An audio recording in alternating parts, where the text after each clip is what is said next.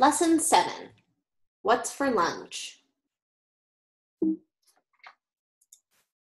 In the federal government, different jobs or procedures fall to different parts of the government Congress, the Supreme Court, and the President. To explain this, we are going to use the following scenario the official procedure for deciding the new school lunch menu. Step 1 The lead chefs suggest food categories.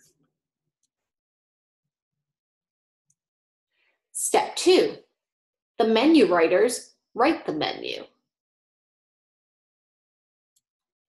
Step 3 The lead chef approves or rejects the menu.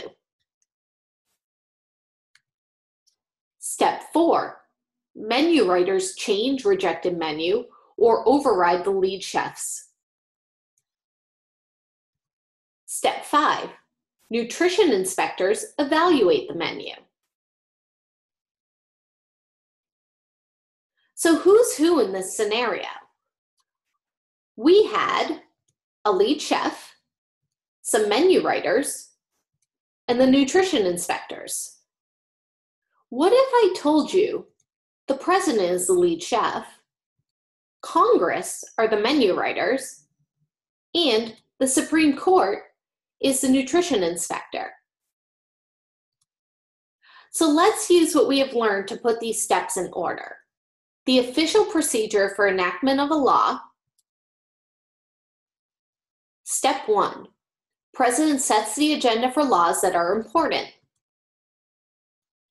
Step 2. Congress writes bills that may become law. Step 3. The President vetoes the bill or signs it into law. Step 4. Congress makes changes to the bill or overrides the President's veto. Step 5. The Supreme Court decides whether the law is constitutional. What next? Take the time to go back and review the lesson on your own. After your review, complete the lesson review for the lesson and submit for grading. Remember, your submission should follow all the rules for standard written English.